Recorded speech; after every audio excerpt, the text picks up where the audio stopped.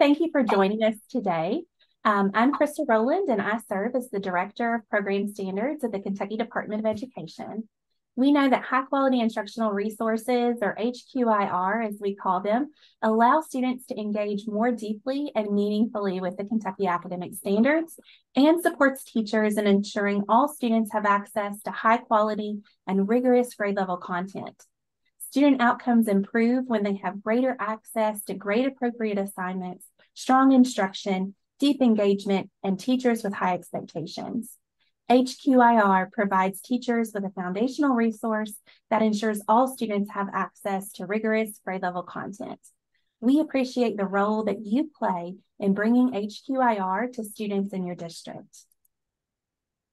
In today's session, you will hear from several KDE team members who will be sharing critical information for your district and you in your role as HQIR coordinator. You will learn more about HQIR adoption in Kentucky, including See, why resources matter, legislation impacting early literacy curriculum requirements for your district, the HQIR fall survey and dashboard, as well as opportunities to collaborate in the future. We appreciate your engagement today and ask that you share this information with others in your district who may need to know more about HQIR in Kentucky. Hey, good morning, everyone. I am Fox DeMoisey, and I'm joined by Misty Higgins, and we are professional learning coordinators here in the Division of Program Standards at KDE. And we're going to be thinking together in this segment about why high quality instructional resources matter. So vibrant student learning experiences and deeper learning are at the ultimate intent level of our standards, but we recognize schools and districts need some support in implementing the standards at the local level in a way that can truly impact the classroom experience for our students. So on the slide is a visual representation of critical actions necessary for this to occur. And it really focuses on the movement from vision to the impacts that we're after of high quality instruction and improved student outcomes. So the first step is for districts to ensure they have a common instructional vision in place for the content area of focus. Then based on that vision, they need to equip teachers and students with access to high quality local curriculum supported by high quality instructional resources that provide the necessary tools to then actualize or reach that vision.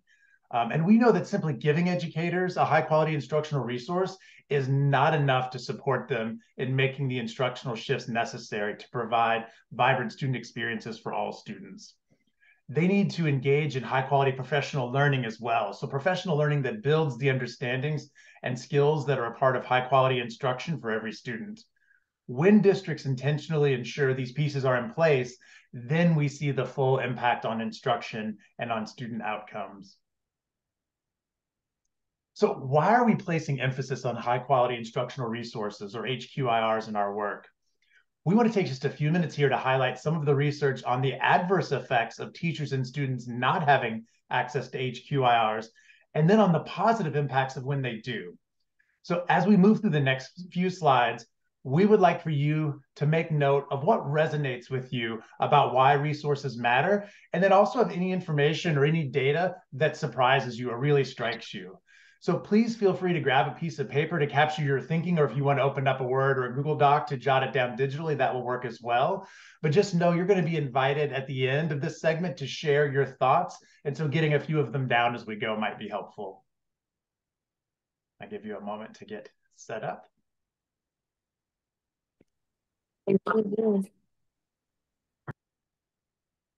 Okay. So research tells us that teachers spend about seven hours per week, and that adds up to 250 hours per year creating or curating resources. So when they're looking for resources, we know they tend to go to places like Google or Teachers Pay teacher, Teachers or, or Pinterest, just to name a few. And this results in the, un, in, in the use of unvetted resources that are often low in quality and lead to inequities in the student learning experience. So the, the graphs on this slide illustrate how these resources, whether they're found or made, tend to fall short. So in the first graph, looking at grade level alignment, we see that teacher created or selected resources are aligned to grade level standards only about 20% of the time. What about subject specific practices? Only 13% of teacher created or selected assignments allow students access to those disciplinary practices. And in terms of authentic connection, only 16% of teacher created or selected assignments help students make rich connections to big ideas and to the world around them. So when reviewers evaluated supplemental materials found online for depth of knowledge for DOK, and we know DOK is the cognitive demand required for students to successfully engage with content, most of the content included in the main activity of each was DOK level one or two. So that falls at the level of recall and reproduction of basic skills and knowledge. Nearly half of the main activities had no DOK level three content at all. So that's that strategic and critical thinking we want for our students. And 94% had no DOK level four content that extended and applied thinking. What is the impact of this on student on the student experience? This this adds up to inconsistent access to grade level work. So students are spending 581 of 720 hours, and that's equivalent to about 81% of a school year on assignments that are not grade level appropriate. This is particularly significant for students of color and students who are economically disadvantaged. So clearly, this becomes a matter of equity. And there are implications beyond high school as well. So 40% of college students take at least one remedial course. Now, these courses cover content that should have been mastered in high school. And oftentimes students and families think this content has been mastered in high school. And when those when they encounter those remedial courses, it comes at a cost to students and their families, a cost to the tune of about 1.5 billion annually. So this also impacts our students going into the workforce out of high school with business and industry partners telling us students are missing skills needed for employability. So Fox just talked about what happens when teachers and students do not have access to HQIRs. However, when teachers have access to and effectively implement HQIRs, research shows that it results in improvement in teacher practice and gains in student achievement. So, for example, a 2017 study showed that the effect of using an HQIR is the same as moving an average performing teacher to one at the 80th percentile. And a 2018 study showed that teachers that were using a high quality math instructional resource, they engaged their students in the mathematical practices at a significantly higher rate than teachers that didn't have access to an HQIR. And this really connects to supporting that deeper learning by students engaging in the practices of the content.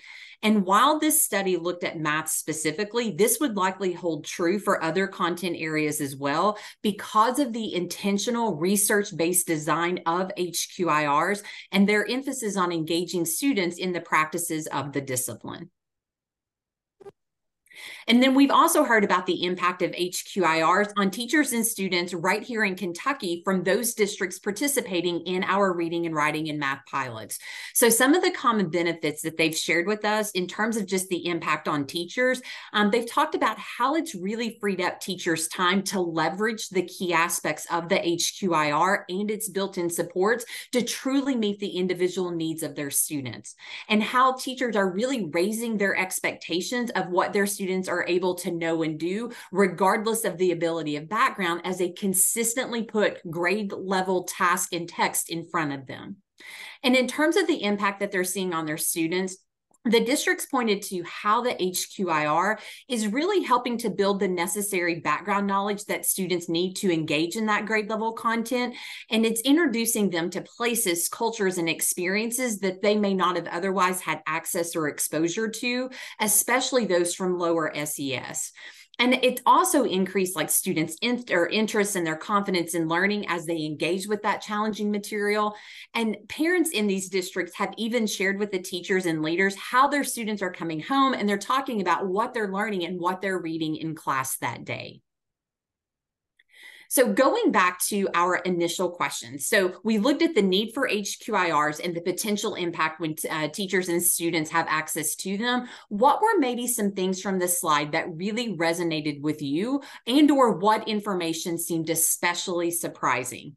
So we would like for everyone just to post something you noted in the chat. So one thing that maybe really stood out to you, really resonated with you, or seemed especially surprising. So we'll pause and give you some time now. Once you have that in mind, go ahead and type and post it in the chat.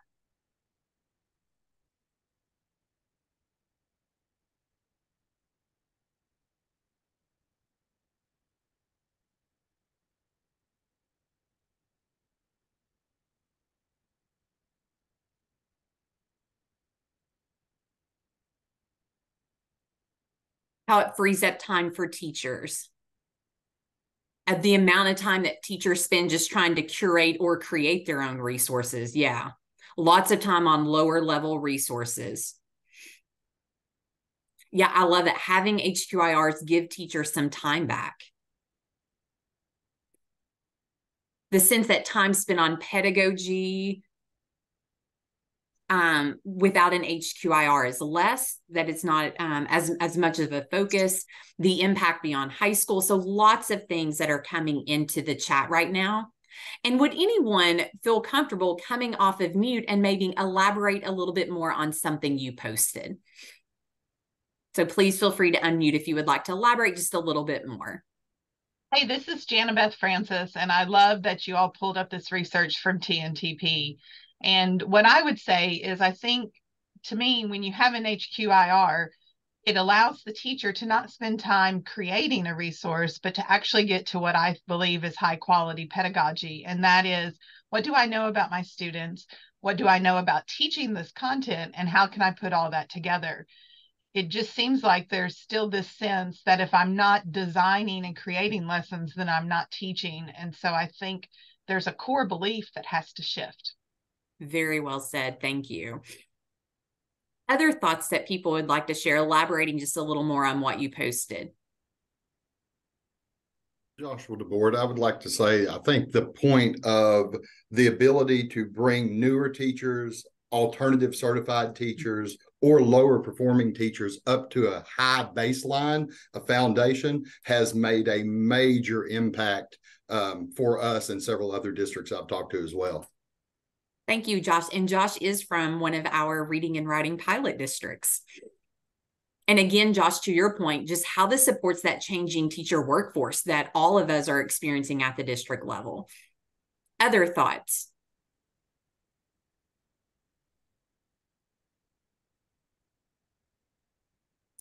Okay, so we know that HQIRs are a critical part of providing a vibrant learning experience and improving student outcomes. But what do we mean when we say that something is a high quality instructional resource? So, like, what are the characteristics that you would want to look for in a resource to see if it is, in fact, an HQIR? So, let's look at how KDE is defining HQIRs. So please take just a moment and read through the six characteristics that are included in KDE's definition of high quality instructional resources.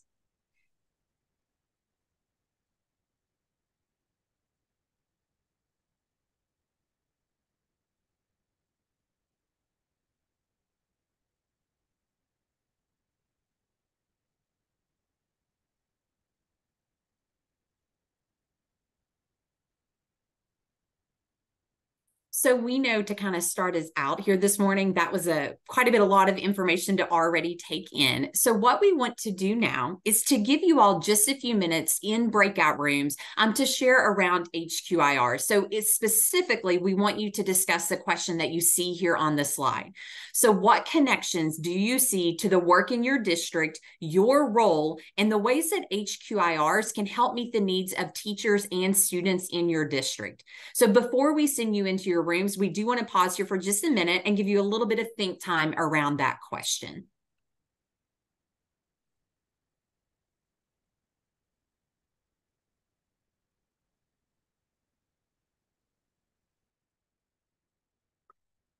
So breakout rooms are now going to open and we just ask that you please equitably share airtime in your breakout room to allow others opportunities to share and we will see you all back here in about eight minutes.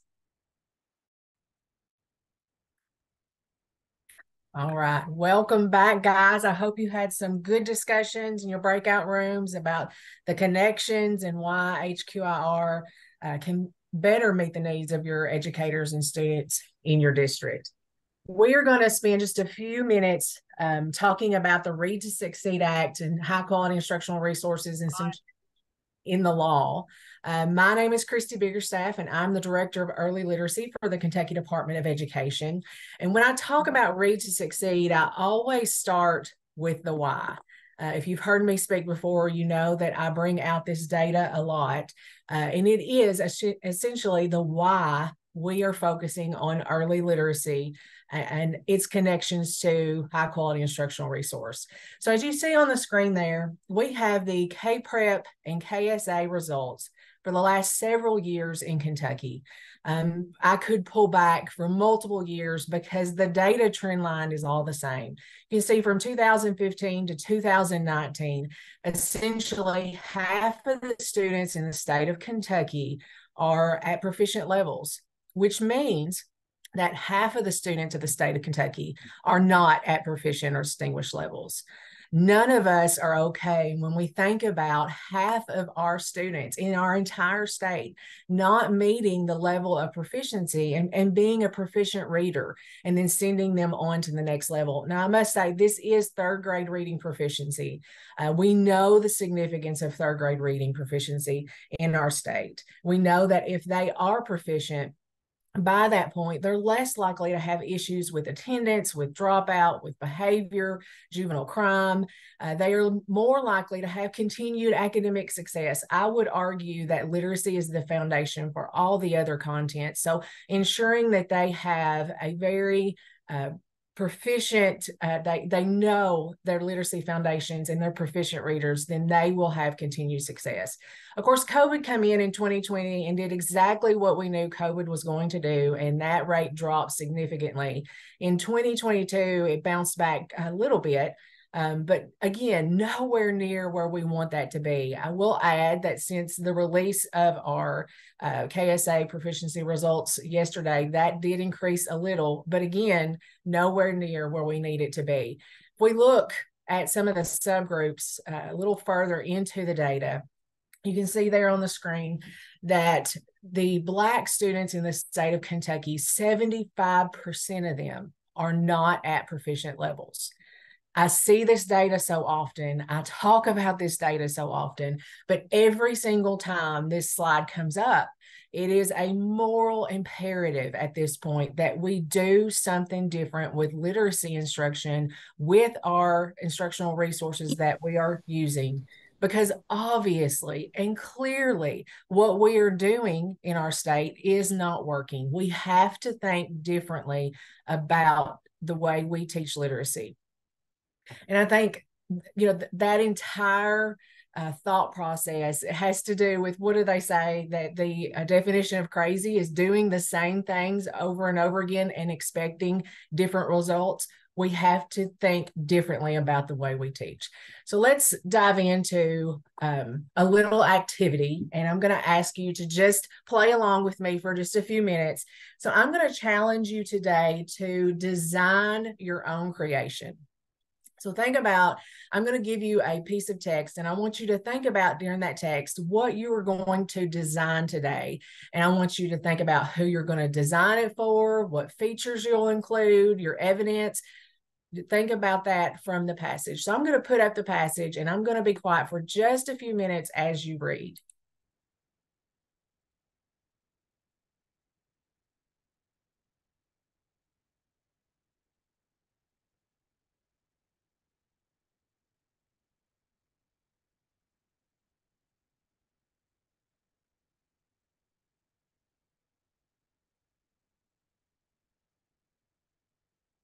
Would any brave soul like to unmute and just throw out your best guess?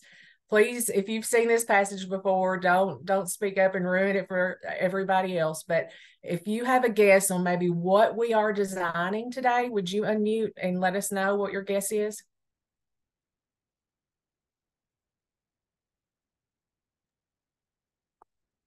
Topiaries topiaries. I get that one. I get that one a lot. Great guess, but that's incorrect.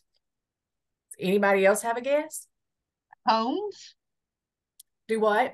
Homes, houses. Good guess, but no. I tell you what, let's do this. That passage in front of you is actually at what a kid sees when they have about a 70% accuracy rate uh, in while they're reading a passage. Let me give you just a few more words and see if that will help you out.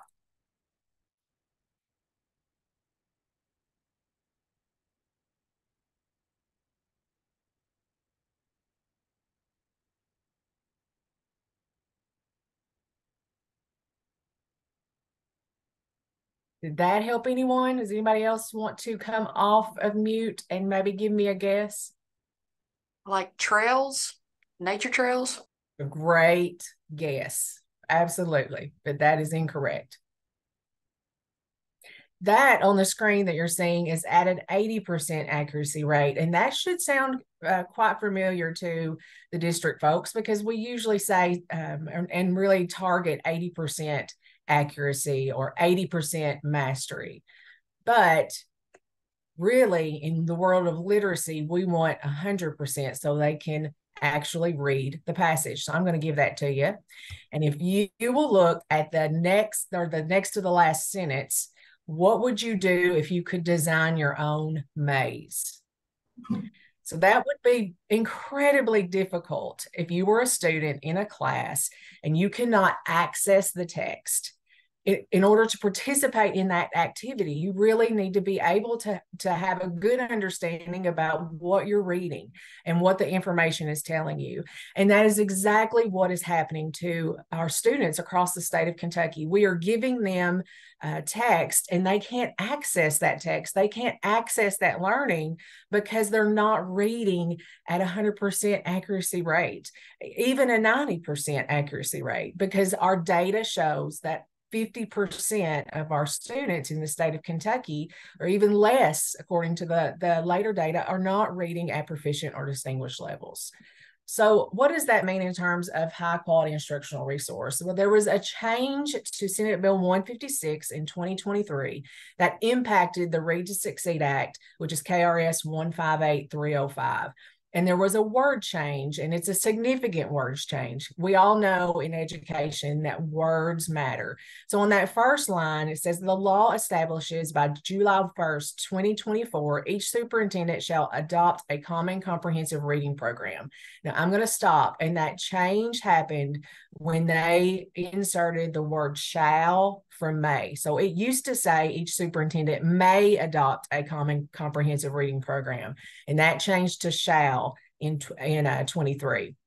So that means that we have to have a comprehensive reading program for our kindergarten through grade three in our schools or subset of schools. And you might be thinking July 1st, 2024 is a long way away. In all actuality, though, we really need to um, think about this and talk about this in our districts because the urgency needs to be there. If we do not have a high quality instructional resource and a comprehensive reading program in our schools, July 20, uh, July 1, 2024 is coming quickly because that process takes some time. Just to go a little further into the law, I want you to see all pieces of that. Common means K through three, as I said. And a comprehensive reading program is just that. It's a it's one that ad- identifies and addresses all parts of the literacy instruction, which is phonemic awareness, phonics, fluency, vocabulary, and comprehension. All of those are vital and must be present in a comprehensive reading program. So, high quality instructional materials in literacy, um, again, need to change. And we have to impact those numbers that we first talked about. So you can see on your screen on the right hand side, this is what our comprehensive reading programs uh, look like or have looked like up until this point and what needs to change if you've not adopted a high quality instructional resource in your district. So you can see that it's based on the whole word uh, whole word method or balanced literacy. It's got memorization tact- tactics. It's simplistic. It's repetitive text. It's disconnected text and readers on the left hand side of your screen, that is what a high quality instructional resource in literacy looks like. It has authentic, com- complex text, it's standards aligned, it has decodables, it's evidence based, it's got a scope and a sequence for phonics.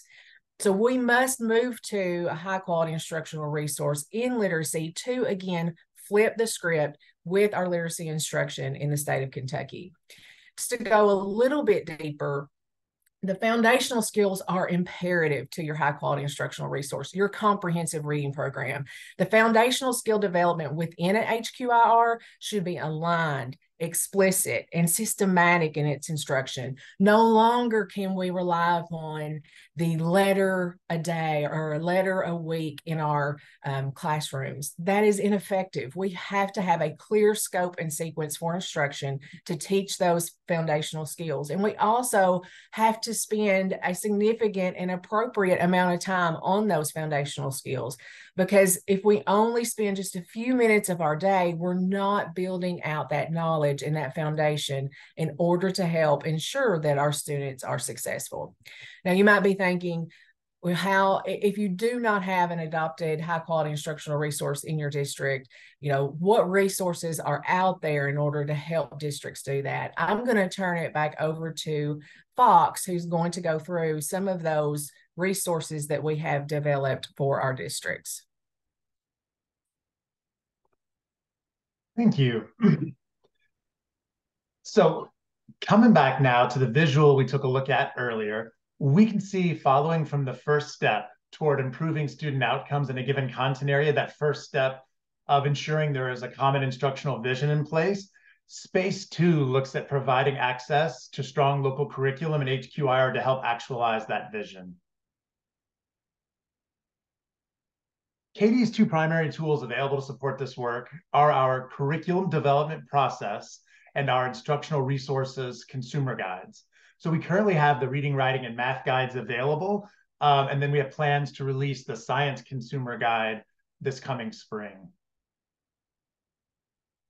So the curriculum development process is section one of the model curriculum framework.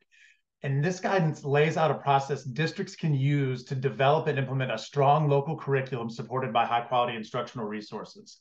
So the first phase of the CDP is, is, largely like preparatory or and logistical in nature, and it focuses on just readying for the process. Phase two provides guidance on articulating a local instructional vision that reflects the Kentucky academic standards current research for teaching and learning in the, in the content area of focus, and a district's local context, that mix of, of local needs and initiatives that really should inform resource selection. Phase three, step one, provides guidance using the instructional vision to drive selection of a primary HQIR to anchor the local curriculum.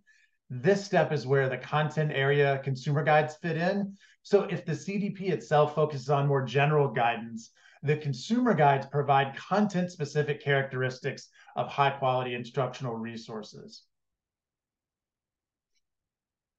So this slide gives us a, a, sense of the layout and organization of the Reading Writing Consumer Guide um, that you can use to support your district's work around Senate Bill 156 the introduction provides some background context, connections to the CDP, and then spotlights the importance of HQIRs.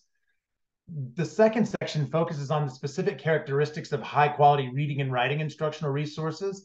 And it starts with the KDE's general definition of HQIRs, then focuses on what that looks like in reading and writing. The markers specifically point to characteristics of a reading and writing resource that you want to use to evaluate in order to ensure alignment to the Kentucky academic standards for reading and writing. Then the equity lenses offer specific reading and writing look fors to help you in evaluating resources in order to ensure they are culturally relevant, free from bias, and accessible for all students. The final section outlines a four-step local selection process. Each step will include a brief description, key questions to consider, and then key tools to support the work. A common question we get is where to identify and evaluate potential HQIRs. And part of KDE's general definition of HQIRs is that they are externally validated and or research-based and comprehensive in nature. So to support steps two and three of the local selection process, the consumer guide will point you to EdReports. And in case you're not familiar with EdReports, they are a nonprofit organization that's often described as like the consumer reports of instructional resources. they are a for educator by educator educator organization, and they publish free reviews of K 12 instructional resources using an educator led approach that's going to measure for things like standards alignment, usability, and other quality criteria and they review for profit, nonprofit, as well as open education resources.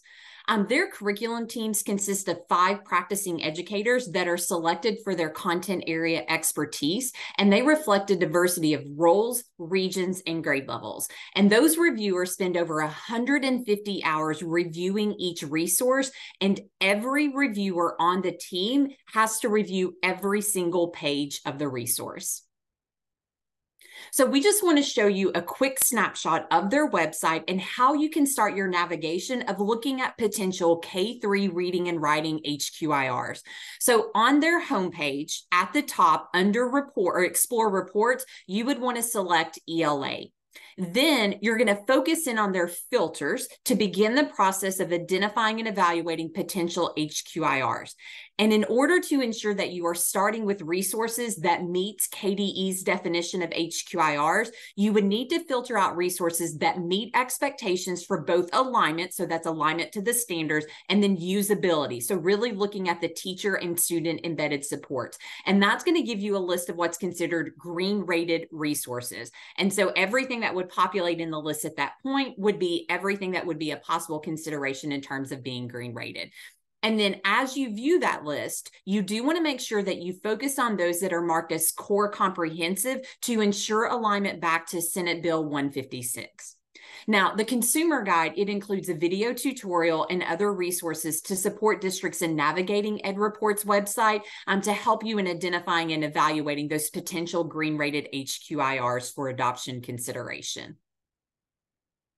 So once again, we want to give you all an opportunity to just process that kind of chunk of information that we've shared back in your breakout rooms. And we're going to focus on these two questions. So where are you in the process toward adopting a K3 comprehensive reading HQIR? And then what resources did you see from what we shared that might be useful in your district to support the evaluation and selection process? So we'll pause, give you a little bit of think time here around those questions. So where are you in that adoption process? Of a K3 comprehensive reading and writing HQIR and what resources that we showed might be helpful. So just think about those questions.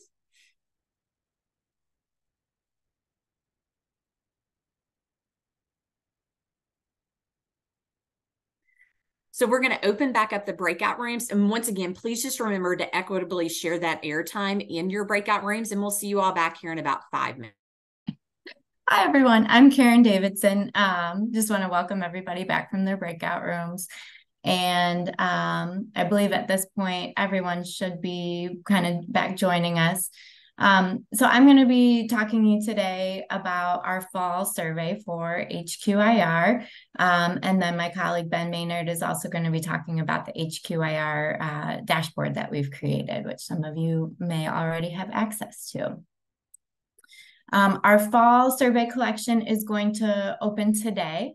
Um, you will be receiving an email today that um, includes specific links to some of the things I'm going to show you today, but we thought that we would go over the process in this meeting and just kind of prep you and help you feel comfortable with what's going on. Um, this year, we do have a new um, district level survey. It just needs to be filled out by one coordinator in your district. So if your district happens to have multiple coordinators, which if you do, please um, coordinate with each other and decide who's going to fill out that one district level survey. Um, that just has some questions about curriculum based professional learning.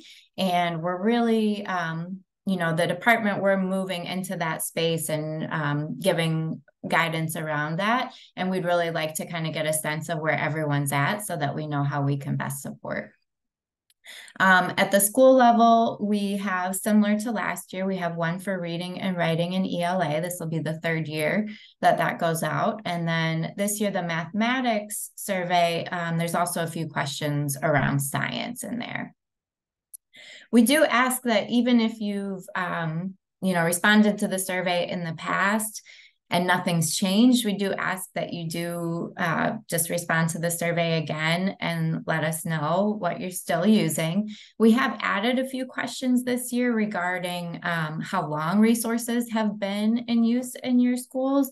And so um, we just really like to get all of that information from you. And, um, you know, just having that is really uh, helpful for us to help support you guys again. So we we really want to say thank you in advance for your participation. We had great participation last year, even better than the year before, and we're hoping that this year is even better. Um, if you do work in a large district, um, you know, around 10 or more schools, we know it can be burdensome to fill out one form for each school for each of the subjects. So we we will have an option for you. You can reach out to me. My email address is going to be at the end of the presentation um, and will also be included when we send the email out. Just let us know and we'll set you up with a way to do things a little more easily. I'm going to pop out now and just show you um, our collection site. So for those of you who have done this before, this should look a little familiar. Um, basically you'll come to this site and it has everything that you will need. We strongly recommend starting with our planning sheets. I'm going to pop one open. You can either um, use the Google Sheet version and make a copy. And um, for example, you could share this through Google with the principals at your schools and ask them to help fill out pieces of this for you, just to kind of collect all the information that you need before you submit. Um, this year we have all, everything you need is all in one workbook. So it pops up with the district level survey first. Um, so you'll see that again, just one person in the, the district needs to submit that for us. Um, there's an, a reading, writing, English language arts collector and math science um, collector. And let me show you, um, also we have these resource lists. So as Misty was just showing you on EdReports, this first column um, shows all of your green rated resources. The way that the survey is set up, it will ask you first if you're using one of those. Um, that just kind of helps us classify who's using green rated resources at this point in time. And if you're not, don't worry, that's okay. Um, you know, there it's not there's no judgment in the process. We just kind of want to get a sense of who's using what at this point. Um, for reading and writing, we do also have a list of other commonly um, in use resources that we got from the first year when people are answering. And then for K through three schools, we do have um, questions about screener and diagnostics. So those are listed there as well. Um, so those will just kind of, if you want to look at those first, that'll help you prep. And then you would come in here and fill out all the questions. Um, these are neat little oh, it's just in the uh, preview, so it's not showing me, but you would click on these and it will have the drop down with all of the um, options that you can um, fill out. So again, if you're, you know, if it's just a K through five school, you only have to answer the K through five questions um, and so on. Um, let me pop back over here. As I said, that um, you have the Google Sheets version, or you can download download that as an Excel copy um, and email it if you uh, prefer to work in that way. Um, we do have instructions up here. I'm not going to go over all of these now, but just know that this is here for you when you get to the point where you're ready. If you need a refresher on what to do, it'll take you through step through step. Um, we have a little blurb about what's new this year um, that I've gone over with you already. And then when you're ready to start submitting, Oh, goodness. There you go. Um, this piece right here is going to be customized to you. So you can see I've been assigned to the Bayside district and I've got my Bayside Elementary and Bayside High here. And if you're wondering if we're referencing pop culture from our childhoods, you are correct. We are.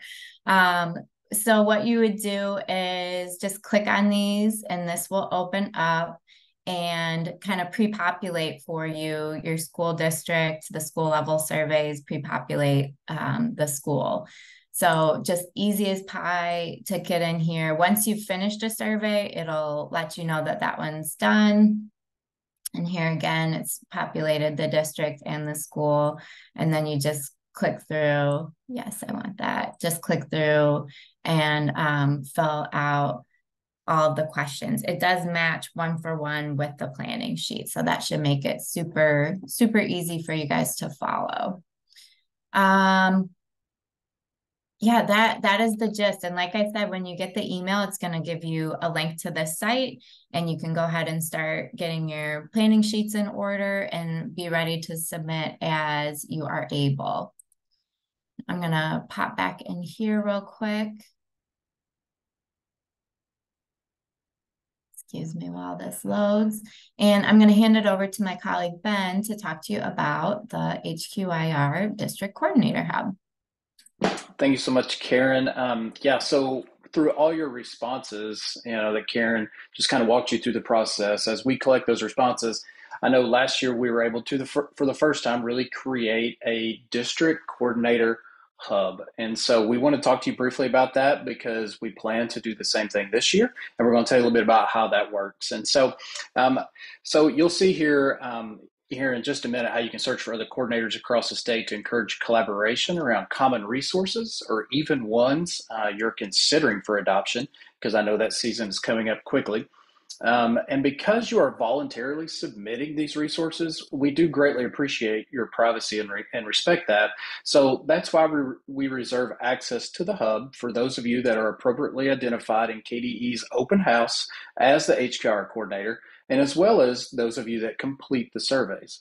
And so but if you uh, but if you want to respond to the survey but not quite ready for anyone else to see um, your school or district resources we totally get that um, we'll give you the opportunity to opt out of having your school's resources included in the updated version of the dashboard that we're planning to do um, at the close of this year's window.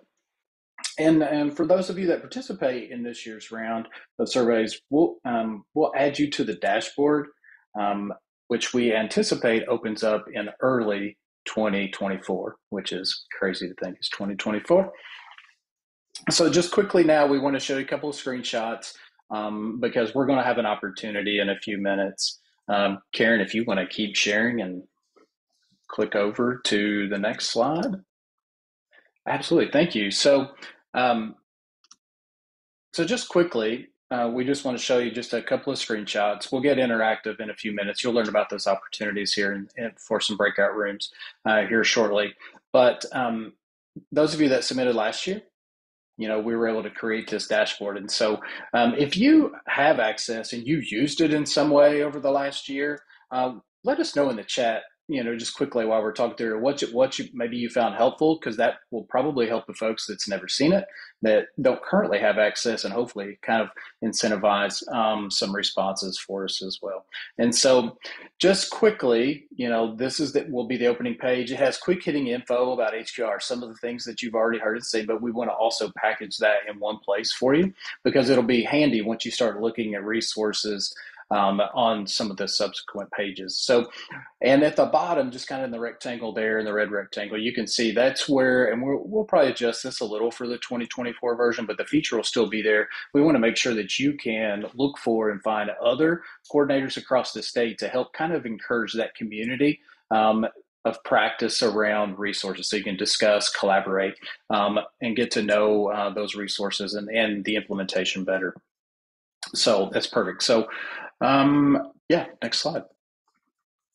Thank you. So, and just quickly here, you'll see that um, on pages two, three, and four, uh, we have it broken down by K5, 6, 8, and 9, 12. And so you'll be able to search for entire districts, look for schools, um, that are included. And then you'll even be able to kind of in the red rectangle there, you can see how it will function on each page where you can really look down that list of green rated resources and see how many schools selected that. And so that you can identify, hey, the this may be, I know this coordinator, I know this district, would love to talk to them about how that implementation is going for them. So just kind of a, way to kind of zero in, narrow in on things that you're considering or things that you're currently using, and to be able to connect with uh, a coordinator in that district. So you can kind of see how that all comes together to help kind of encourage um, some collaboration uh, around these resources. And so, but like I said, if you want to get in depth a little bit more into the dashboard, you're going to learn in just a couple of minutes how to do that with us uh, today. And so, Laura, I'm going to hand it back to you so you can kind of tell everyone about those uh, opportunities. Thank you so much, Ben. Thanks, Karen. Um, good morning, everybody. Like Ben said, my name is Laura. Um, I believe I've met most of you on the call. Um, today, you have heard quite a bit of information um, in what seems like a really short amount of time. From our discussion early on about navigating EdReports, information on Read to Succeed, and highlights on utilizing the HQI da HQIR dashboard, uh, we now want to spend some time digging deeper into each one of those main topics that we've discussed. We know that each different each district is at very different points and phases of this process um, and may need more information on something specific. So what we are going to do for breakout rooms um, it's going to look a little bit different than the first two is we are going to have three different rooms um, and you'll see them listed here on your screen. The first room you will be able to get a little bit more information and discuss further resources to support local adoption and navigating EdReports. The second room, uh, you will be able to focus on HQIRs and Read to Succeed with Christy. And then the third room, as Ben just said, you will be looking a little bit deeper at the fall survey and the HQIR dashboard. So we've we've talked about calling it the choose your own adventure um, and we hope that this time can be really individualized and intentional for you to get in have a deeper conversation with some of your colleagues and uh, get more information that you need at this moment. So I am going to go ahead and open up the rooms um, and you should be able to choose them as soon as they are open. Welcome back, everyone. As we wrap up today's session, I want to share with you some opportunities for ongoing support. To assist districts in effectively selecting an approved Tier 1 comprehensive reading program so that the resource adopted ultimately leads to high quality instruction and improved student outcomes, we are offering a one hour webinar on Monday, November 20th from 10 to 11 a.m. Eastern Time. The webinar will offer a more in-depth understanding of how best to use some of the resources previewed today to support your local adoption process.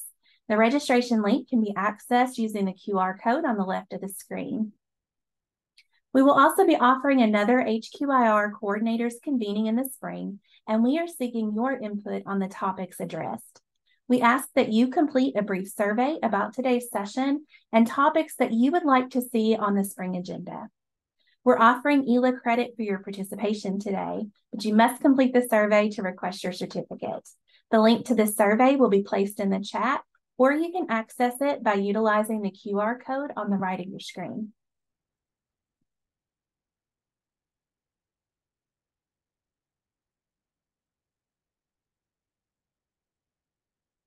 On the next slide, you'll see our contact information. Um, so Karen, if you can bump us to the next slide. Thank you. Thank you for joining us. If you have questions regarding content in today's session, please reach out to the point of contact on the screen. We appreciate your time today. Have a great day, everyone.